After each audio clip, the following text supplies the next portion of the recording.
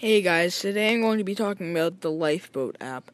The Lifeboat app is the app that shows you how many kills and de- deaths you got, shows you open servers and stuff, who's like on the top, and how to get. You can buy VIP and stuff on it. And yeah, so I use this app to check my KD ratio, which kill to death ratio most of the time. I want to see. I pretty much have two, which is like I have like almost two times that I have kills and deaths, which is actually pretty good. But I I haven't really been playing a lot.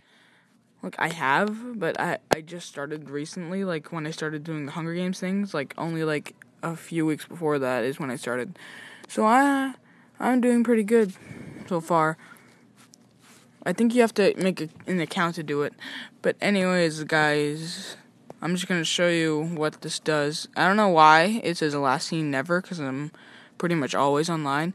So yeah, so thank you all so much for watching. I hope you all enjoyed this video.